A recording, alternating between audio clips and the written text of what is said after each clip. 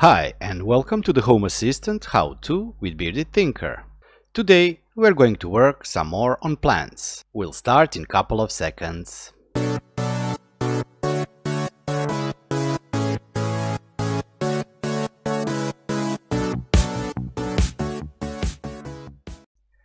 Before we begin today's episode, I would like to thank all the members who have joined my channel. Thank you very much, it really means a lot. Let's get cracking with today's video. In the previous episode, we created integration for the LilyGo TTGo growth sensor, and this integration allowed us to pull data from this sensor board inside our Home Assistant. And this is the data we received from that sensor. But Home Assistant also has something called Plant Monitor. Plant Component lets you merge all the data from the plant sensor such as moisture, conductivity, light intensity, temperature and battery level into single UI element. Well, that's according to the Home Assistant documentation.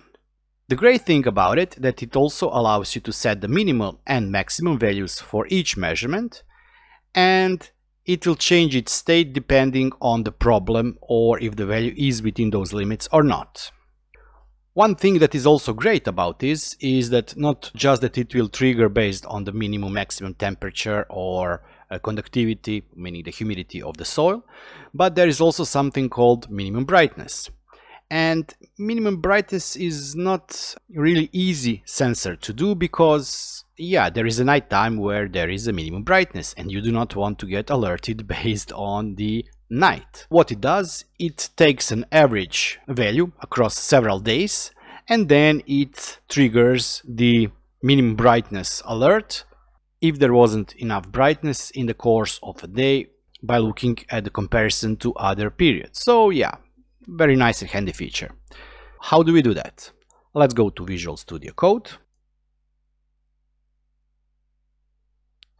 And here in the Visual Studio Code, you can see the code that we used last time to pull data from the MQTT sensor. And today we're going to create a new integration that has to go inside your configuration YAML file that will be used to match this data here with the data that is expected for the plant monitor integration. So let's get cracking. This has to go inside your configurations YAML file since I'm doing this on my live system or my production system, for me each integration is in its own individual file. Let's create a new file. Or for you, let's add this inside your configuration YAML file. And you can just now follow my steps to create plant monitor sensor.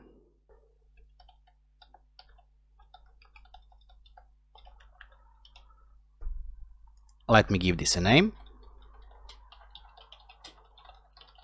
Plant mount integration. Next thing I'll do is I'll name this file.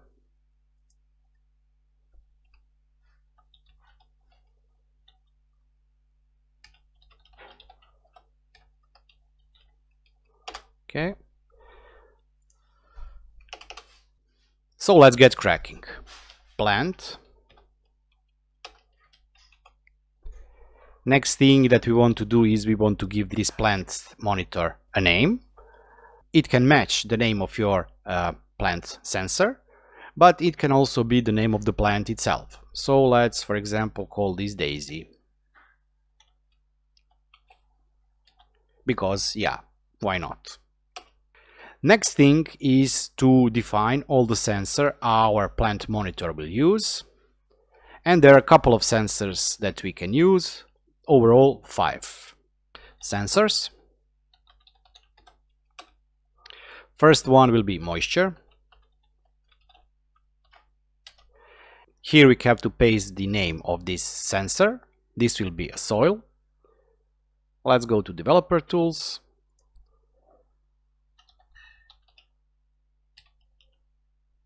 And look for the soil.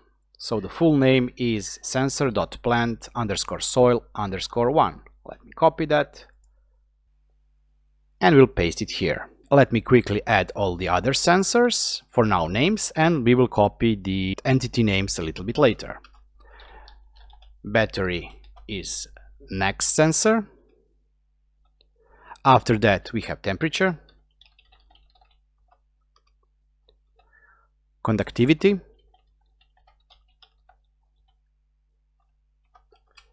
brightness,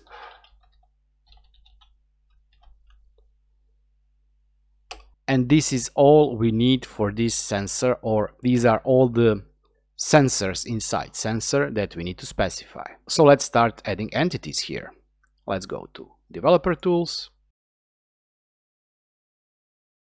There is moisture and conductivity. Moisture is looking at the humidity inside the soil and conductivity is looking for the fertilizers inside the soil itself.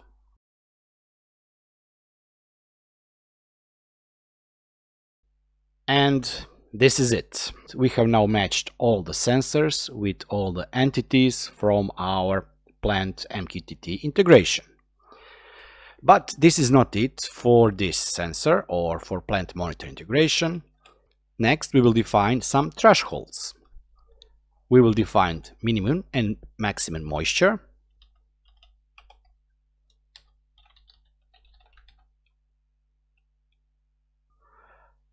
For minimum moisture, uh, let's put here 20. Max moisture will be, let's say, 60. Min battery. Since our sensor is using battery, let's say it will be 20%. Min conductivity will be, let's say, 150 and let's say that minimum temperature is 15 degrees Celsius.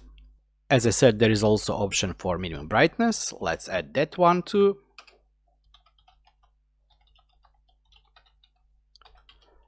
And let's specify that this is 1000 lux.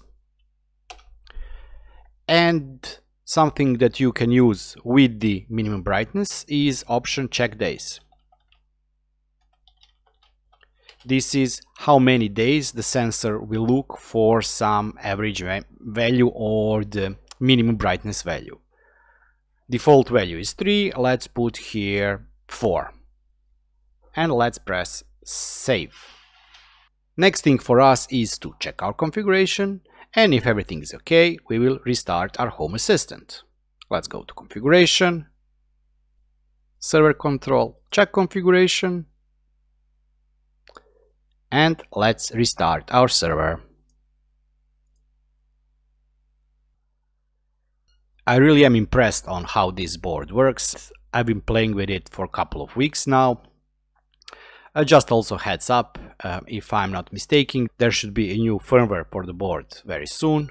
And expanding the functionality of this board with the plant monitor integration will really improve your plant's life. I know that it helped me a lot with my plants. For example, I have three pots sitting on the almost the same spot. They contain almost the same amount of uh, soil and same plants. And it's funny that I water them same, but when I tested the sensor in each individual uh, pot, I noticed that the water was ranging from below 20% to over 75%. To me, the plants looked same, Although I did see some deterioration on leaves on one of the plants and that plant did have too much moisture. So by using this board together with this plant monitor integration you can really improve your life of the plants both inside your home and outside of your house. Don't forget that if you put this sensor outside you definitely need to print a case for it and also take into account that you have to provide a hole for the charging and also you have to provide hole for the lux sensor. There is a 3D case on the GitHub page of the sensor. So if you want, you can use that one. And that one is using the magnetic charging heads. So you do not have to take the sensor out of the box if you want to recharge the sensor itself. Okay, we are still waiting for some of the components to finish loading. And here we go our Home Assistant is back online completely. Let's go to Overview. Let's go to Plants. And let's try and add this new plant monitor integration sensor.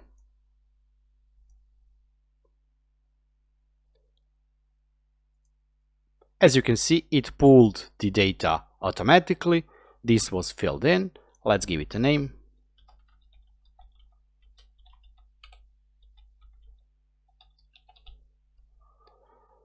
And let's press save.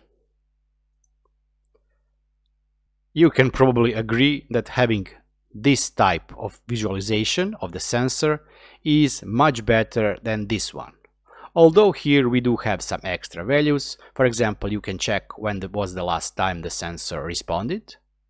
And you can use this data also in automations to warn you if, for example, there is some kind of issue and the sensor doesn't respond in, let's say, 3 hours.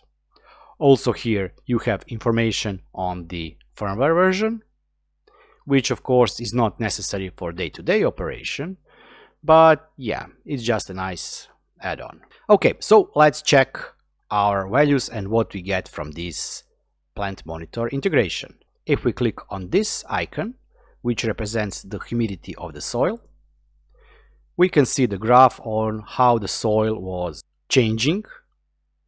So this is the information about the soil. This one was the calibration when I calibrated the sensor, so as you can see it went over 100%. Next thing, we have information about the temperature. What this peak can signal you is that this sensor is probably somewhere where the sun is hitting it directly. We have information about the lux, you can see the period of the night, and then the morning and direct sunlight. This is the information about the fertilizer or the minerals inside soil. and here we have the status of our battery. This was the period when I recharged my battery. And this is it. You can now, of course, use this to trigger various automations. Let's go to Developer Tools.